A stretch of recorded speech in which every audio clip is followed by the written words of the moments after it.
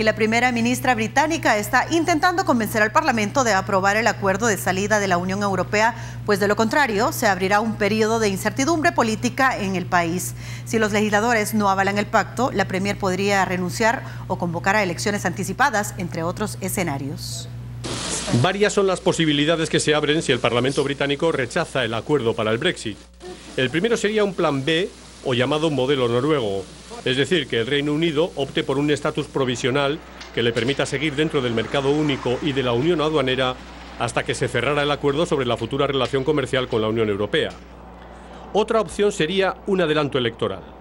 La primera ministra, desautorizada por la Cámara, podría convocar elecciones en enero con el respaldo de dos tercios de los diputados. No se descarta tampoco una moción de censura.